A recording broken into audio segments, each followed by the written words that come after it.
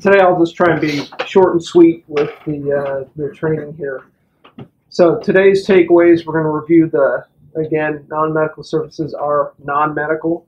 Again, highlighted there. review the four changes in the care coordination, medical management part of things, and then start to kind of identify some issues that are going to uh, impact contracting, credentialing, and provider services.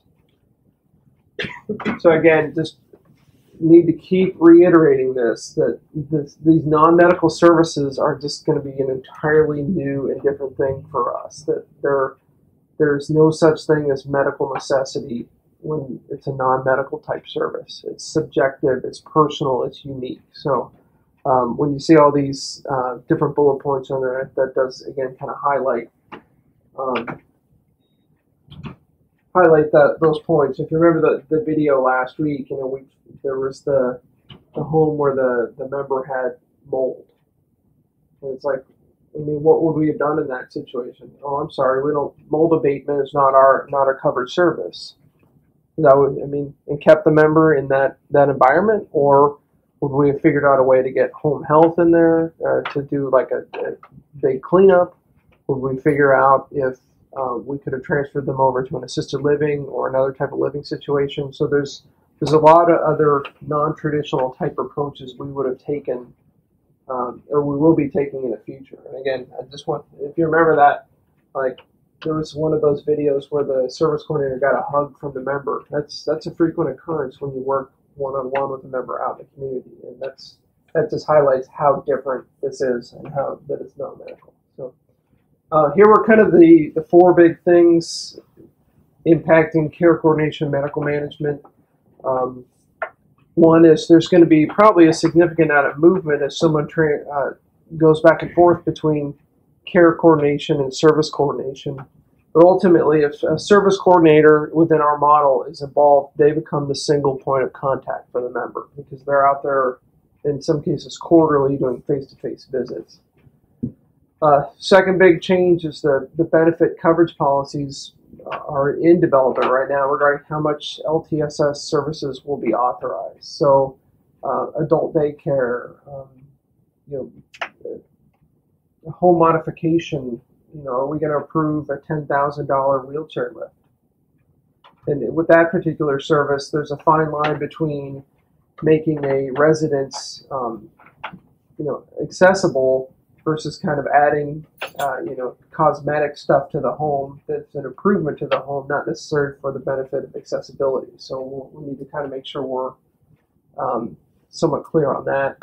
Uh, you know, as, as Ray has pointed out, formulary uh, changes for specialty drugs is going to be a huge cost item for us. And then just in general, making sure we're um, what we're expending for things are appropriate utilization and or under the MLR not losing $80 million that United and Ohana lost combined that first year as well. So, so we've kind of gone through all these areas, and now we're going to get into the plan administration part of it, the contracts, credentialing, and provider services. So here are four changes I can readily see with that. The first is with the um, community care, foster family homes, PERS units, etc there's somewhere between 1,500 and 2,000 new providers from long-term services supports that we've never really historically dealt with. Um, so there's going to be that's going to drive new contracts, new rate structures. Um, Jane is making me aware of we we've got a process for delegating uh, a delegation contract that is multiple pages long with multiple bullet points and processes that we need to follow. So things like um, delegating. Um, if we're going to um, logistic as a transportation provider, same thing. This is going to take us months and months and months to evaluate and implement if that's the direction we go. Um, there's going to be entirely new credentialing roles and interactions, uh, and that's the, the Community Ties of America oversees a lot of these foster homes and just new training requirements and roles. So when you look at it, go, this is a 35 to 40 percent increase in the provider network workload. I mean, that's going to impact Paula's group and uh, Michelle's group downstairs and being able to work with them.